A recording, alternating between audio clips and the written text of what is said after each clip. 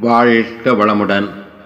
இறையருளும் குருவர்களும் என்றென்றும் காப்பாக அமையுமாக. ஓம் சிவ சிவ ஓம்.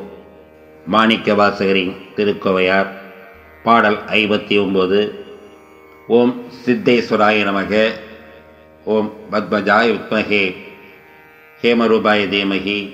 தன்னோ சோம பிரஜோதயார் கலையில் அகல அல்குர் பாரமதாரங் கண்ணார் திலங்கு முலகில் சிறிதிந்தி நிற்றன் முற்றாதண்டி இலங்கையர்கோன் மலையில் விளசெற்ற சிற்றம்பலவர் வன்பூங்கையிலை சிலையில் கனையன்ன கண்ணீர் எது நுங்கள் சிற்றடையே.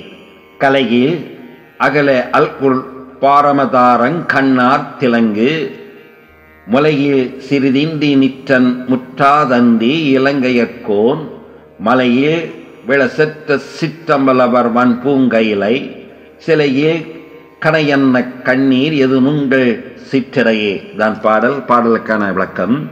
இறைவன் ஒளியாக நீண்ட இடத்தின் கீழிருந்தே நாதங்கள் எழும்பி வாசியாக நிகழுதே. அதனை தான் அறிந்துணர்ந்து அதுவேதான் அனைத்திற்கும் ஆதாரமாய் இருப்பதை அகத்தினில் உணர்ந்து அக்கண்ணிலே வாசியை நிகழ்த்தி ஒளியுடன் கூட்டுவதே அரணாரின் அருளை அடைந்திடும் நெறியாகும். மணியாக நீண்டிட்ட மலரான கொங்கையின் கீழ் நீருக்குள் நெருப்பாய் நிகழ்விடத்தில் முழுமையாக நிறைந்தே நீண்டிடும் நாதன்தான் நம் ஈசன்.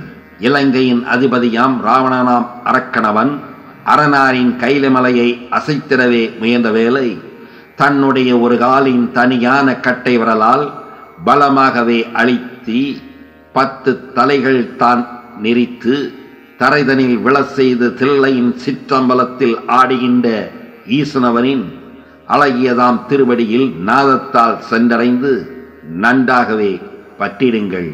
வல்லமையான வாசியை வண்ணமிகு பூவாகவே விளங்கிடும் கைலை மலையில் விரைவாகவே சேர்த்து இலக்கினை வீழ்த்திடும் இணையற்ற அம்பை போல் சரமாக கூட்டியே சகசமான அன்பினால் உருகியே கண்ணீர் விட்டு உணர்வோடு அழுதிடுங்கள். வாழையின் சிற்றறையான பத்தாம் வாசல் விட்டு இறங்கிடும் நீர் பருகி இரவா நிலை அடைந்திடுக. ஓம் சிவ சிவ ஓம்.